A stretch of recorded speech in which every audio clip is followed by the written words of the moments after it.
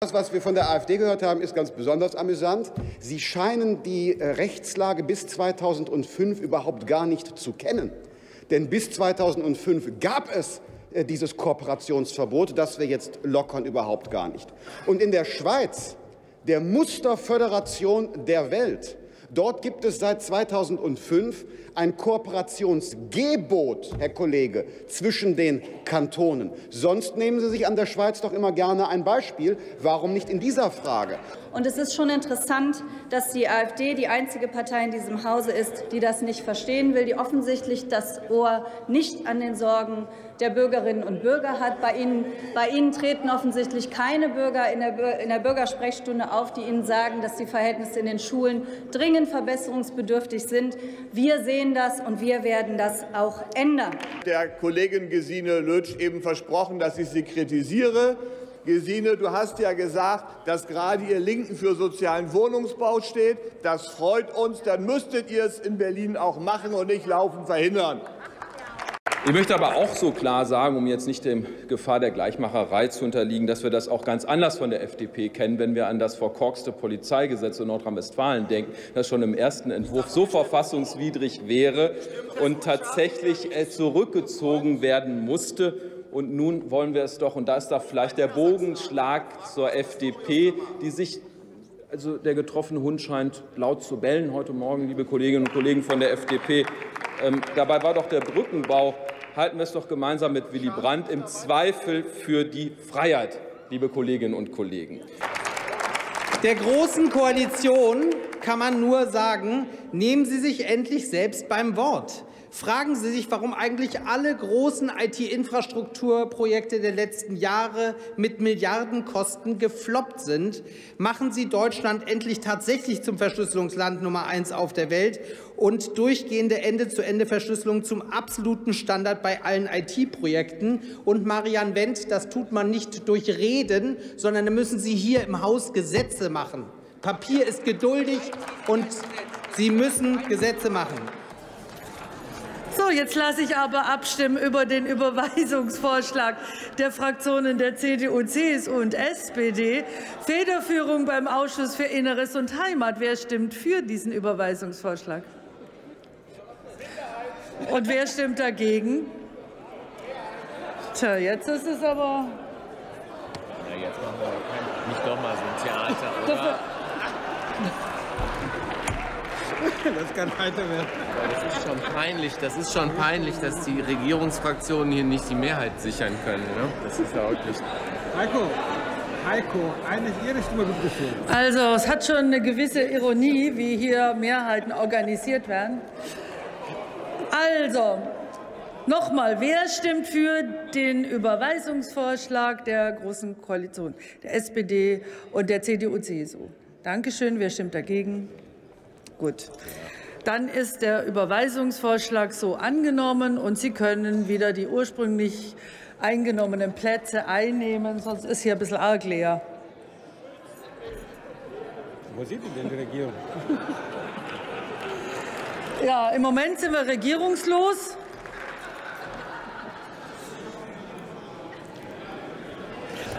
Gefällt Ihnen da unten besser? Gut.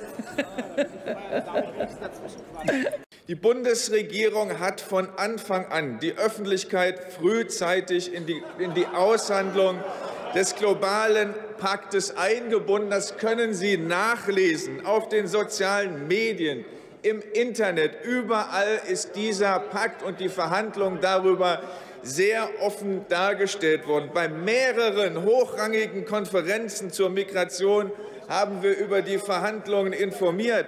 Auch der Bundestag war eingebunden und hat schon im April über den Pakt diskutiert. Dieser Pakt ist auch im deutschen Interesse. Im deutschen Interesse. Verstanden? Der Pakt ist ein trojanisches Pferd. Er soll die Beendigung chaotischer Zustände suggerieren und birgt in seinem Innern unzählige neue Probleme. Frau Merkel, die sich gerade davon stiehlt, will ihre Urkatastrophe von 2015 in einem globalen Migrationsplan verstecken und doch nachträglich rechtfertigen und vor allem für die Zukunft auf Dauer stellen. Deutschland war maßgeblich federführend.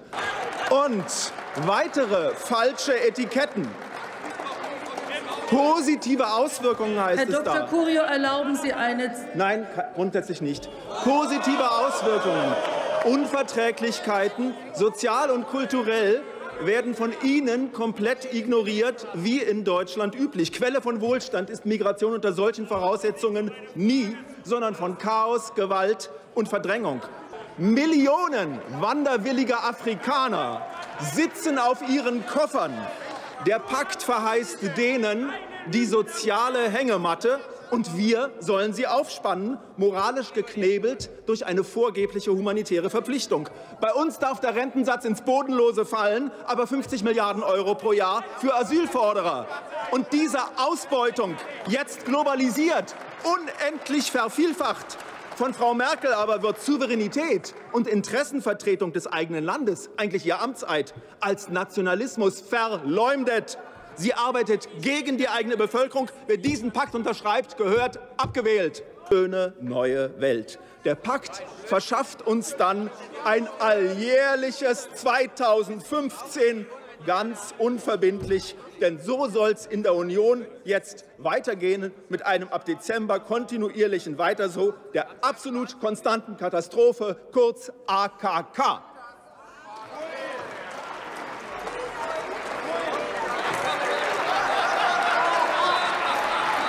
Das schaffen wir auch nicht alleine, auch wenn es so schön einfach wäre zu sagen, das kann man alles nur bei uns regeln. Dieser Pakt soll erstmals einen unverbindlichen Rahmen schaffen, der eine internationale Zusammenarbeit in der Migrationspolitik dokumentiert. Und wie man sich über einen unverbindlichen Rahmen so aufregen kann, da muss ich ganz ehrlich sagen, darüber kann ich mich nur wundern. Wir wollen Frau Lindholz, erlauben Sie eine Zwischenfrage oder Bemerkung von Herrn Regner von der AfD-Fraktion. Also in der Regel beantwortet das die Gefragte selber. Frau Lindholz. Ja, ich lasse die Zwischenfrage zu. Bitte, Sie. Nein, nicht Sie, er war zuerst dran. Nein, Herr Hegner war Ich zuerst. lasse nicht, eine ich Zwischenfrage. Nein, Sie habe ich. Sie dürfen sich jetzt entscheiden, wer. Ich lasse eine Zwischenfrage zu.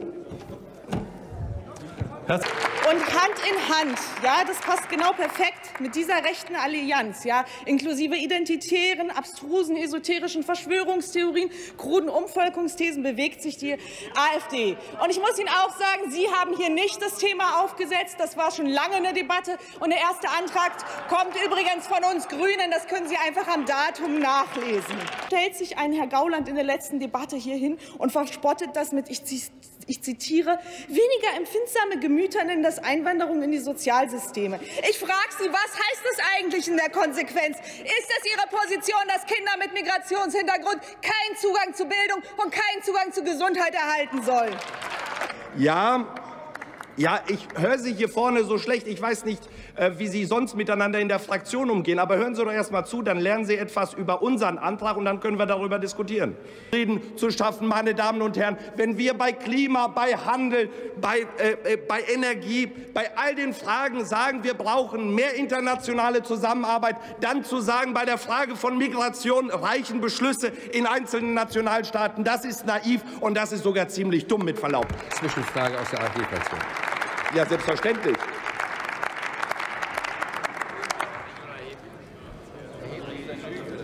Ich habe die Frage, Herr Ziemiak. Sie sagen gerade, es ist in dem Fall, man muss mit anderen Ländern kooperieren. Und ich habe die Frau Merkel noch im Ohr, von wegen, es müsste eine europäische Lösung geschaffen werden. Jetzt schauen wir uns doch mal die europäische Landkarte an, der Zielländer. Übrigens, Russland ist ja kein Zielland dieser Migration, aber gehen wir die anderen Länder an. Russland wird übrigens auch aussteigen dann. Aber schauen wir uns die anderen Länder an. Ich habe viele Gespräche mit Botschaftern gesprochen, äh, geführt, europäischer Länder und auch mit Parlamentariern. Und schauen wir uns die Landkarte doch mal um Deutschland herum an.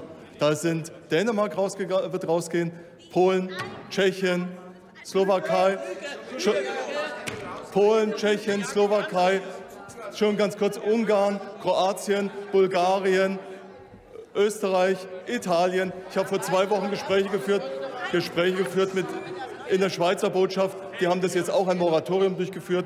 Sehen Sie sich doch mal die Lage an. Sie wollen fair verteilen und die Länder sind weg in Europa. Es gibt keine europäische Lösung dazu. Und es kommen noch mehr Länder, die das Thema aus dem Thema globaler Pakt für Migration aussteigen dazu. Wie wollen Sie denn eine faire Verteilung überhaupt noch realisieren? Das wird nicht funktionieren. Wir sind als Deutschland mit wenigen anderen noch allein. Und dort wollen Sie dann die Menschen alle aufnehmen. Ich habe die, ich hab die Frage verstanden. Und wenn Sie sich mit all diesen Leuten unterhalten haben, dann werden Sie doch gemerkt haben, dass es in diesen Ländern genauso viele Leute gibt, die wie die AfD Falschinformationen verbreiten und einen unglaublichen innenpolitischen, innenpolitischen, ja, aber Sie wissen es doch, innenpolitischen Druck, innenpolitischen Druck erzeugen. Sie haben doch, ich meine, Herr Dr. Kuri, das war ja ein Sammelbecken an, an, an, an Gerüchten, an Falschbau. Ja, Sie leben in Ihrer eigenen Welt, da kennt man Sie gut, aber wir sind hier in der öffentlichen Debatte und die Leute werden merken, woran Sie bei Ihnen sind. Sie verbreiten. Aber Sie haben doch eine Frage gestellt. Sie wollen doch jetzt meine Antwort hören, auf die Sie sich so freuen weil andere in anderen Ländern das so gesehen haben, auch aus innenpolitischen Erwägungen. Aber ich sage Ihnen, meine Damen und Herren der AfD, ich bin Abgeordneter des deutschen Volkes und deswegen erwartet man von uns, Deswegen erwartet man von uns, dass wenn wir sagen, dass etwas richtig ist und diesem Land dient, dass wir dafür stehen, egal wie andere Länder entscheiden. Wir müssen uns doch mal gerade machen. Wir müssen uns doch gerade machen. Ich kann doch meine Entscheidung nicht von anderen Ländern abhängig machen. Liebe Kolleginnen und Kollegen, ich verstehe selbstverständlich die Emotionalität der Debatte. Ich möchte darauf hinweisen, dass das Präsidium nicht dazu da ist, eine Bewertung vorzunehmen. Solange sich Ihre Beiträge im Rahmen der Gesetze halten, sind sie äh, zu tragen, manche sind zu ertragen. Aber ich habe bisher nicht feststellen können, dass die rechtlichen Rahmen überschritten worden sind. Wir machen hier keine inhaltliche Zensur. Frau Weidel ist, glaube ich, irgendwann mal in die Schweiz migriert und migriert hoffentlich sicher, geordnet und regulär jetzt irgendwann nach Deutschland zurück. Also vielleicht hat das ja auch was damit zu tun, dass Ihre Freunde von der Schweizerischen Volkspartei eine Initiative gegen die Massenzuwanderung gemacht haben, die sich insbesondere gegen Deutsche richtete, die in die Schweiz wollten. Frau Weidel, Sie sind uns herzlich willkommen in Deutschland. Machen Sie keinen wir sollen uns ja bei Ihnen bedanken, dass wir das heute hier debattieren dürfen, Herr Gauland. Ja klar, die Mainstream-Medien haben auch noch nicht über die Gefahren von Chemtrails berichtet.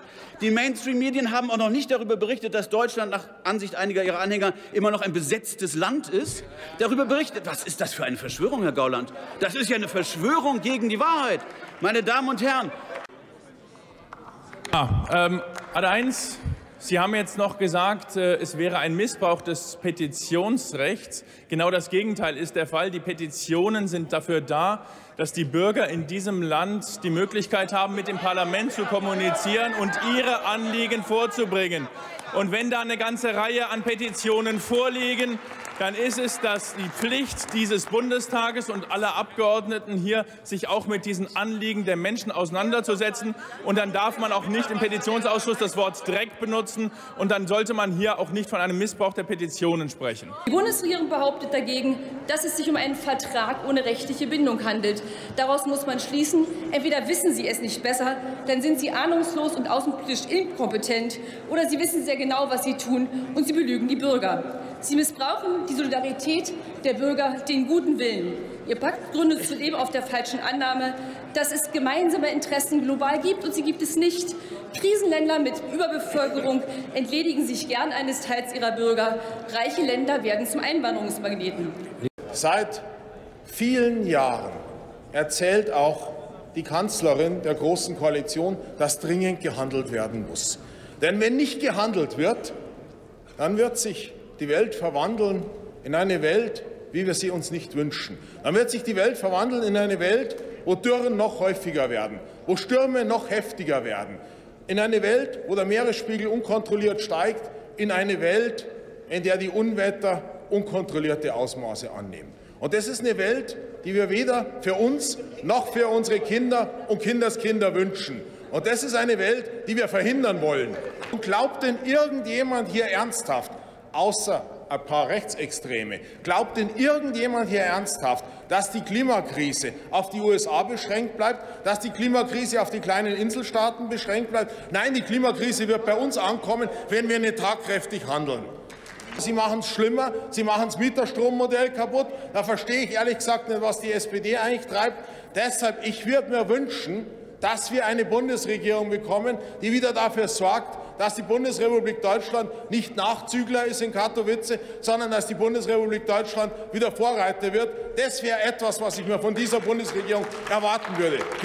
Bei der nächsten Fragerunde quasi im selben Atemzug behauptete Herr Lebermann, dass die Temperatur seit 1850 um 1,1 Grad Celsius gestiegen sei. Auf meinen deutlich vernehmbaren Zwischenruf, er saß direkt vor mir, dass wir dann ja jetzt eine Durchschnittstemperatur von 16,1 Grad haben müssten, sagt er gar nichts mehr, sondern nur, dass die Hypothese vom menschengemachten Klimawandel felsenfest stehe. Mehr nicht. Eine reine Behauptung ohne jeglichen wissenschaftlichen Beweis. Und nochmal, es gibt keinen einzigen wissenschaftlichen Beweis, kein Experiment, kein Versuch, der die Hypothese einer Ursache-Wirkung-Zusammenhang zwischen CO2 und Klima beweist. Nichts, gar nichts, sind darunter tiefrot. Und unter diesem grünen Mäntelchen haben sich in der Geschichte ihrer Partei Pädophile, Inzestverharmloser, Kommunisten, Maoisten und bis zum heutigen Tag Deutschlandhasser und Deutschlandabschaffer versteckt.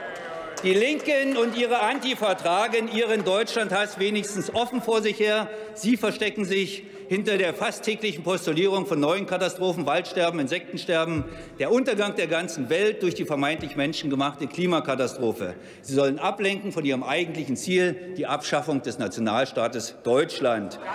Dass die SPD, dass die SPD da mitmarschiert, ist klar. Sie haben in Ihrer Geschichte Deutschland nicht nur einmal verraten. Die FDP, die FDP heißt nicht umsonst im Sprachgebrauch außerhalb dieses Hauses Steigbügelhalterpartei, weil sie sich ja Jahrzehnten jeder Partei anbietet, um auch ein vom Stück vom Kuchen abzubekommen.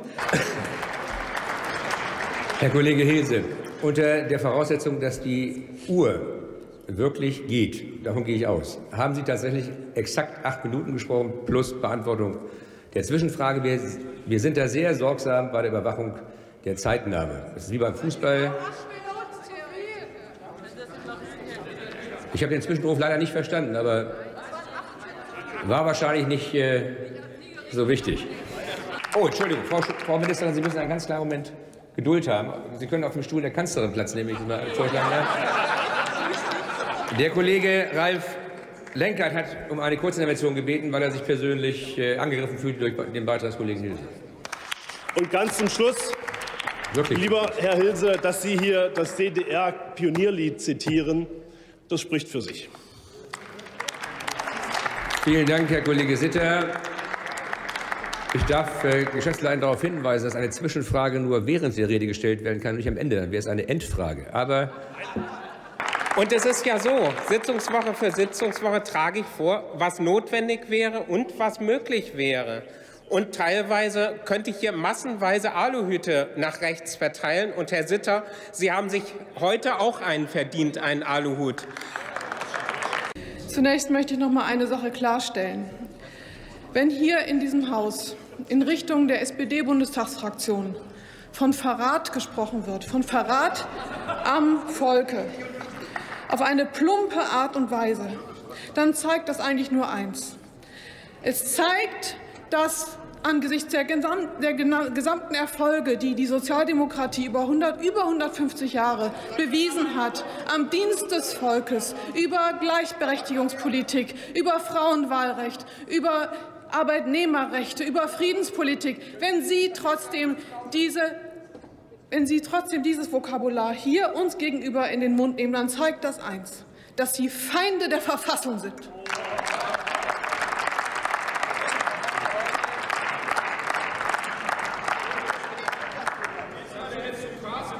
So, ich möchte jetzt gern weiterreden, ohne ständig unterbrochen zu werden. Können Sie dafür sorgen?